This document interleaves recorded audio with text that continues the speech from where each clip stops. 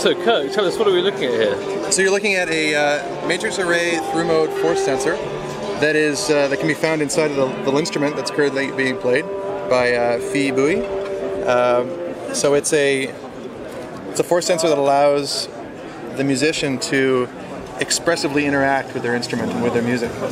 They do this through force sensors, which is uh, allows you to push through a force sensing ink that gives you a variation in conductance, and that's then interpreted by the electronics of the instrument to give you changes in pitch, and timbre, velocity sensing, and all that sort of thing. So how's it constructed? Uh, it's uh, it's fairly straightforward, really. It's uh, it's layers of polyester uh, with some uh, conductive traces, uh, silver traces, force sensing ink, which is sort of the secret sauce, and that's what Tangio Printed Electronics does. Is we we help our, take our customers from from the design idea through prototyping in through to global mass production. That's excellent. And tell me about some of the other things you have on show here. What so, these applications? Yeah, what we have, well, actually, th these are very standard. These are the these are starting from scratch for, for engineers. These are available on our website.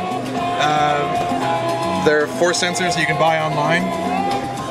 And the intended target is engineers that have an idea, they want to use force sensors in their application.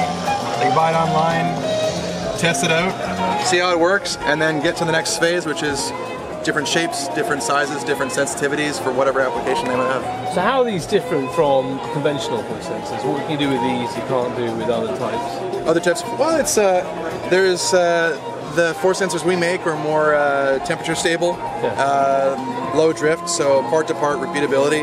Um, different ranges as well, so rather than simply just being touching, you can also you can build this differently. So let's say you need to have a car drive over top of it and still have some sort of threshold uh, change or some sensing of, of different weights.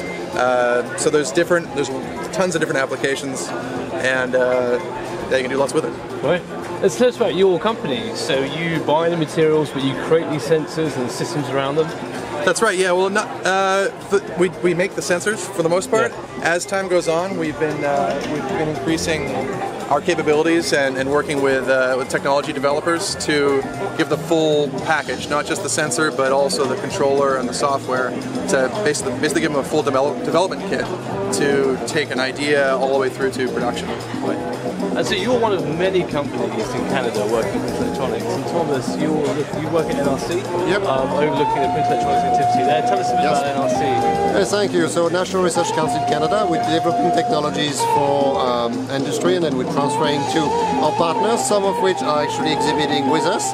We're very grateful for uh, IDTechEx to give us good visibility, but I guess Tangio is providing the entertainment, so how to compete. Um, so here around the pavilion you have 10 co-exhibitors representing a very nice cross-section of the plus 70 plus members of the ecosystem in Canada. Some of them providing advanced nanomaterials, some of them uh, manufacturing devices like Tangio, or some other ones um, providing some uh, end-use scenarios like uh, the wearables in the back or packaging right in the front here.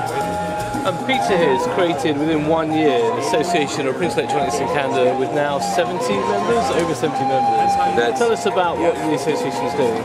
Well, thank you, Raghu. We really appreciate uh, IDTechEx being the first member in our association last year at this show.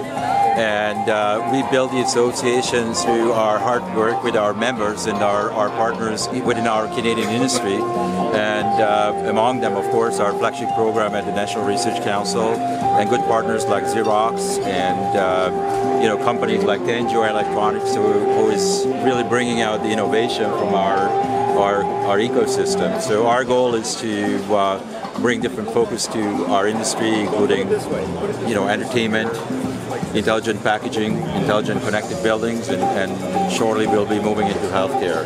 That's our aspirations to, to bring together the full supply chain, right from materials right up to the end users. Great.